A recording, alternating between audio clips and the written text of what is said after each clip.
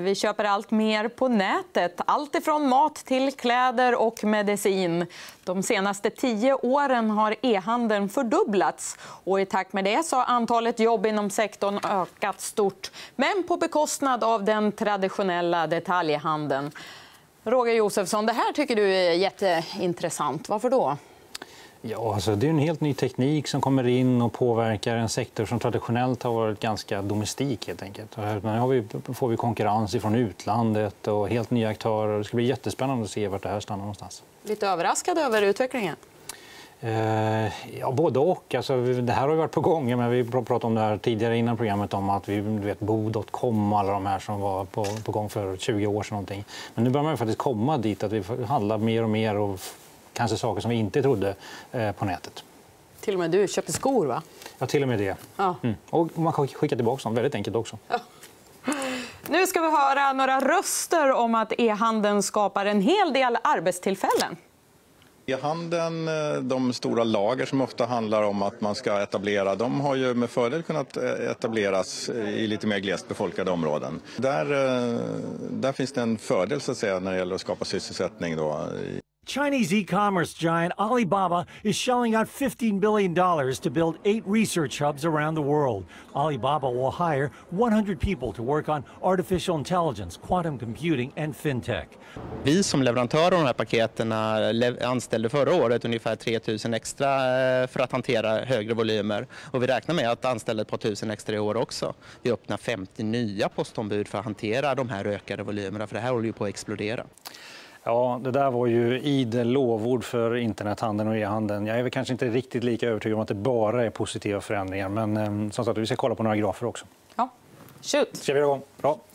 Eh, det här är en graf som visar hur detaljhandelns eh, via internet hur stor den är som andel av total detaljhandel.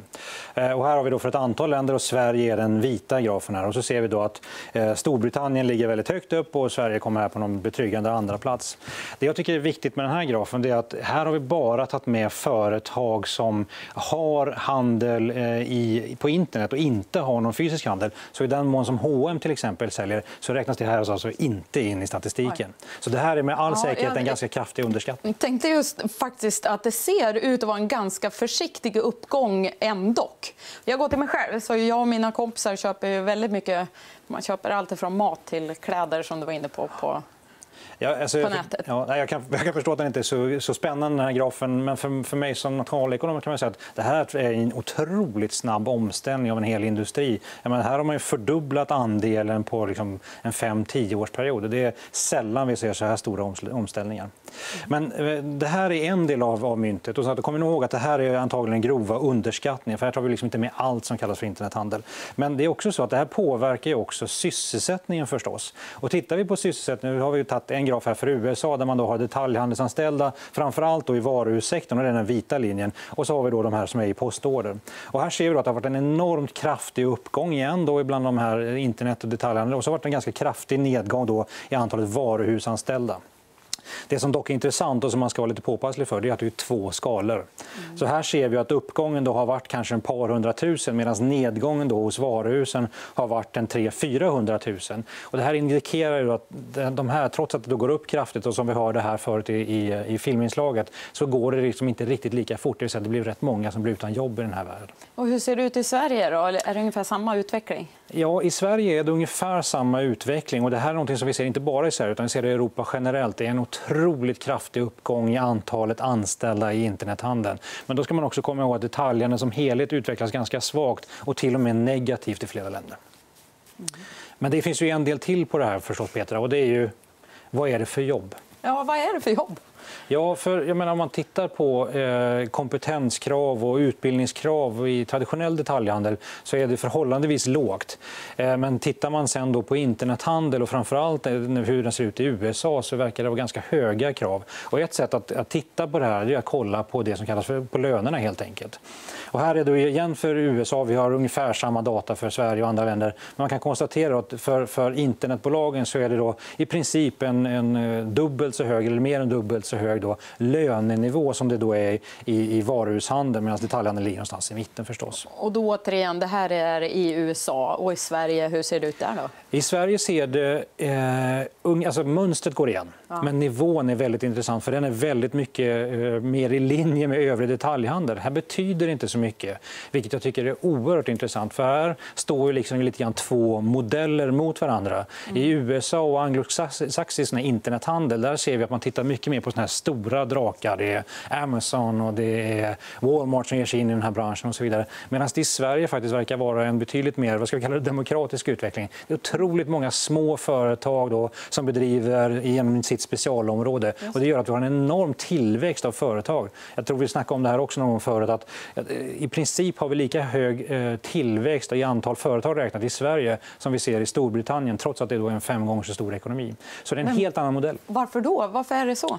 Eh, jag tror helt enkelt att det är lite grann med internetmognad. Jag tror vi har kommit väldigt mycket längre i Sverige. Vi pratar om bo.com som är en av pionjärerna. Och det här är väl en del av det svenska arvet. Vi ligger väldigt långt fram.